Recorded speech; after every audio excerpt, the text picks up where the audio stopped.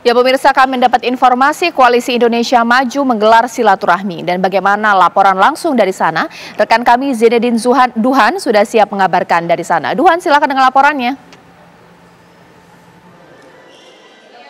Ya, selamat malam Caca Anissa dan juga pemirsa partai politik yang tergabung dalam Koalisi Indonesia Maju pada malam hari ini menggelar silaturahmi di gedung DPP Partai Golkar di kawasan Selipi, Jakarta Barat, di mana juga tadi ini sebenarnya sudah dimulai sejak pukul 19.00 waktu Indonesia bagian Barat, di mana dimulai dengan acara makan malam bersama oleh para pimpinan partai-partai yang hadir. Tepatnya ini ada lima partai yang tergabung dalam Koalisi Indonesia Maju, yaitu ada Golkar, Gerindra, PAN, PBB, dan juga Partai Gelora. Untuk yang hadir sendiri ini tentunya dari Partai Golkar. Ini hadir dengan formasi lengkap Erlangga Hartarto didampingi dengan Ahmad Doli Kurnia lalu didampingi juga dengan uh, Ludwig Paulus.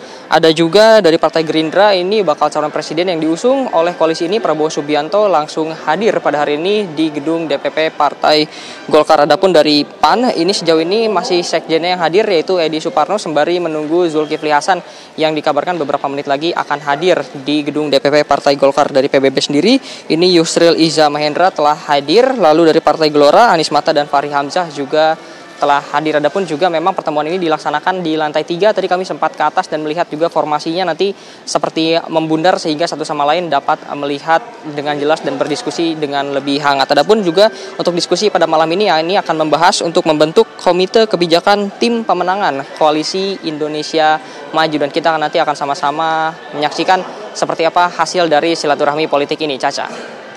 Duhan, nanti kami akan tunggu laporan dari Anda.